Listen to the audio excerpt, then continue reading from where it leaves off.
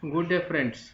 Today I am going to put the video on classes of fire, various methods of classifications into that because we have to understand why the various methods are required.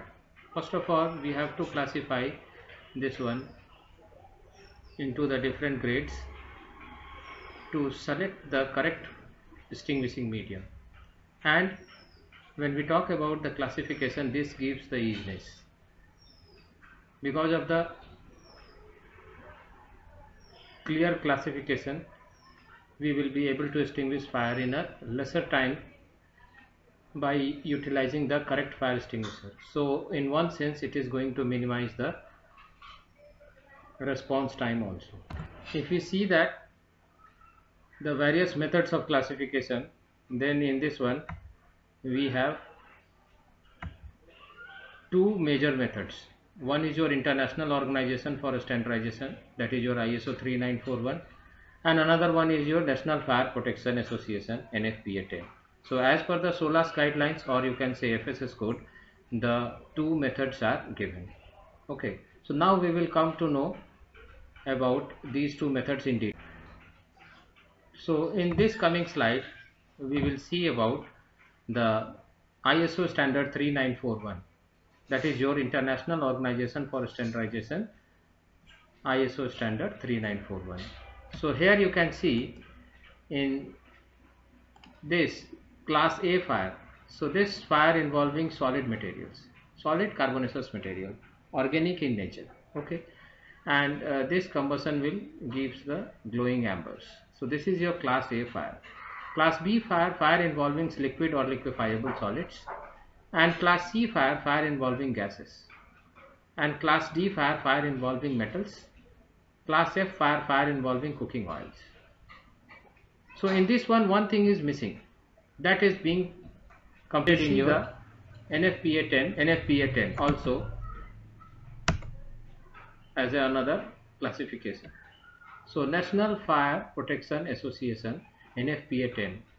Class A is here again the fire in ordinary combustible materials such as wood, cloth, paper, rubber and many plastics. So this is something which is your again solid carbonaceous materials.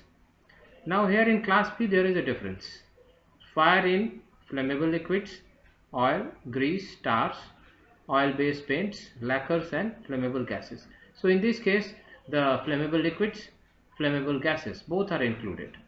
And when we talk about class C so this is something which is the much needed one that is your involving energized electrical equipment. So we have the energized electrical equipment that is major point of view major concern. That was not there in your ISO standardization. So this is something which is your electrical fire sort of thing. But here it is energized electrical equipment before handling the fire we have to de-energize the extinguishers de-energize the equipment and then extinguishers for class A and B may be used. Class D is something which is your combustible metals such as magnesium titanium zirconium sodium lithium and potassium all flammable metals. Class K is something which is your cooking grease fat and oil. This is something which is the last classification class K. Next you can see over here fire classes as it is it's given in the pictorial form. Class A the solid carbonaceous in which it covers the wood cloth paper rubber and other plastics.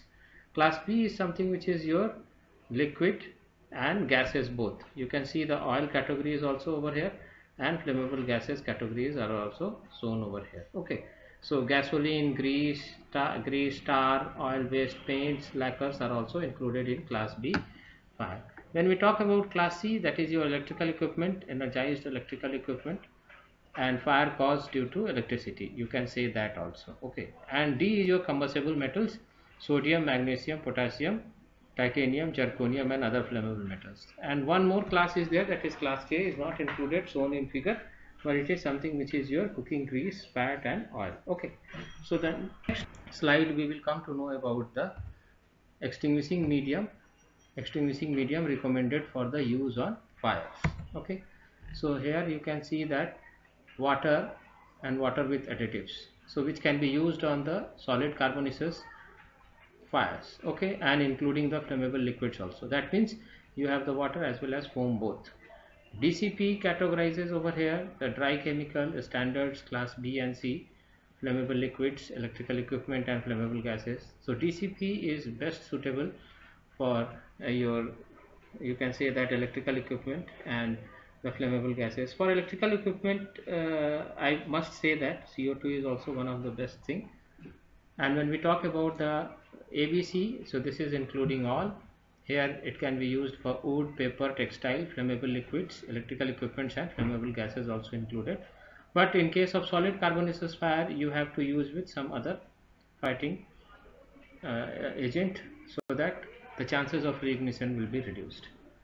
And here is the specialized dry chemical powder which is used for the metallic fires. And wet chemical you know that this is the best suited for class F or class K uh, in any of the classification methods which is shown over here. So this includes your cooking grease fats oils and fire of the cleaning agents. So that is also shown over here. Okay. So i hope this video is you have understood clearly.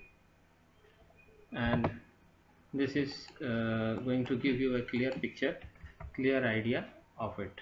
Hope you guys understood this clearly. Thank you